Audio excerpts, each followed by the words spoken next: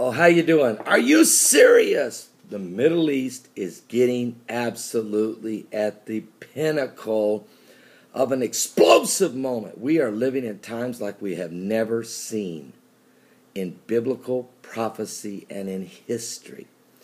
Quickly, I want to get you up to speed. What? Are you serious? Yes.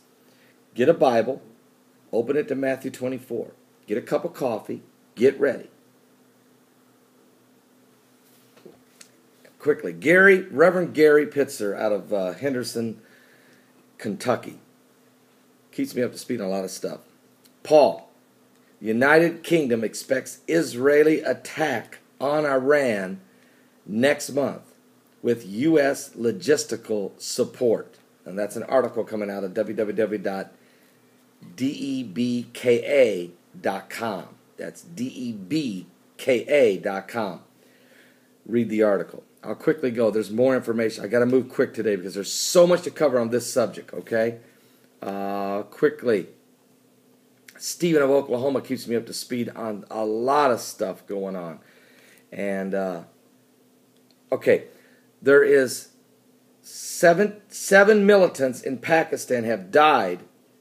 A U.S. It's suspected that a United States drone fired missiles at a house in northwestern Pakistan near the Afghan border early today on this November the uh, 15th, 2011, in the northwestern Pakistani area and along the Afghan border, killing at least seven alleged militant Muslims there, according to Pakistani intelligence officials. The strike occurred in the main town there of, um, it's, it's a tribal area, and it hit them along the border. This is a key hub in that area right there for the Taliban and for Al Qaeda. Okay, so this happened today, this morning. Um, wow, so keep an eye on that.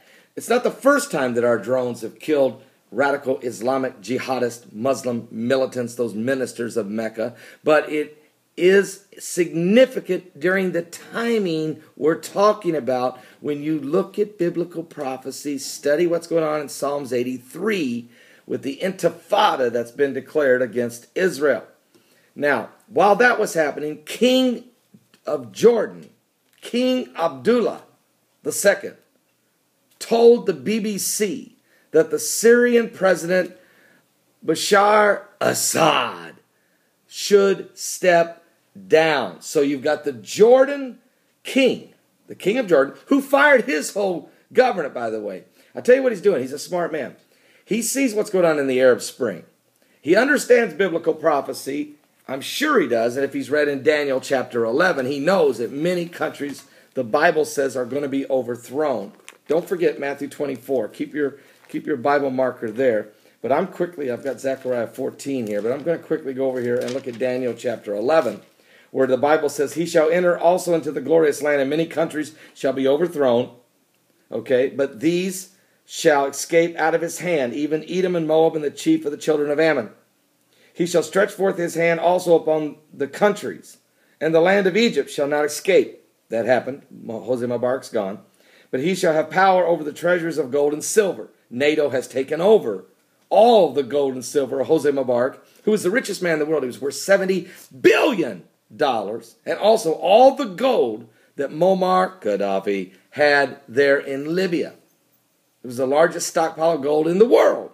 Both the treasuries, the silver, and the gold, and over all the precious things of Egypt, and the Libyans, and the Ethiopians shall be at his steps. He's right at their door. With what? Famine, drought, uh, disease, swarms of locusts. I mean, but tidings out of the east, that's China, and out of the north, that's Russia, will trouble him. Now listen.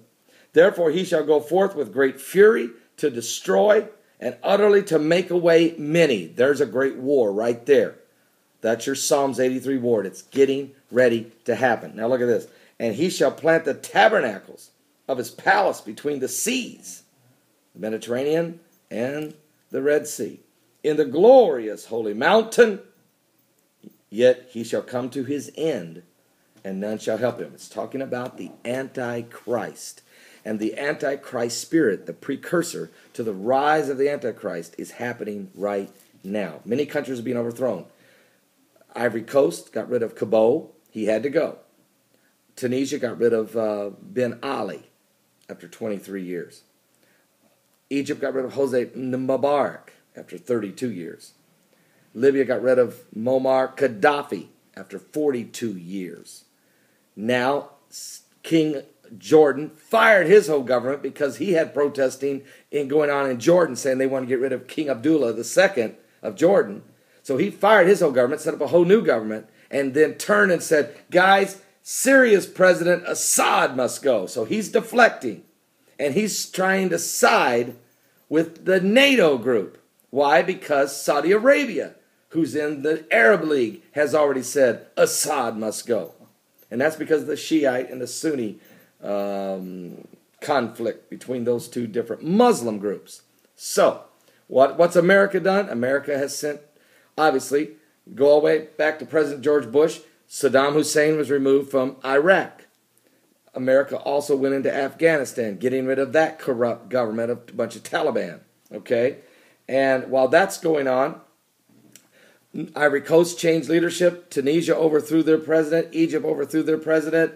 Uh, Libya, Gaddafi was finally removed from power forcibly by the help of the people and NATO, which included America, England, and France, and, and Canada, and Australia, and Poland, and Romania, and then NATO and Turkey. Now, and then while that's going on, folks, of course, Iran has been constantly threatening Israel to blow them off the face of the map, which is what it says in Psalms 83. That is, the, that is what King David said they would say. It says, Keep not thou silence, O God, hold not thy peace. Be not still, O God, for lo, thy enemies shall make turmoil, and they that hate thee have lifted up the head. They've taken crafty counsel against thy people, consulted against thy hidden ones. They've said, Come, let us cut them off from being a nation, that the name of Israel may be no more in remembrance. For they have consulted together with one consent, they are confederate against thee. That's a biblical prophecy. Now, while all this is going on, Turkey today is saying that they're taking a strong, resolute stance against Assad of Syria. So America's calling for Assad to go. Obama has said Assad must go. England says he must go. France, Nicolas Sarkozy said he must go. Israel said he must go.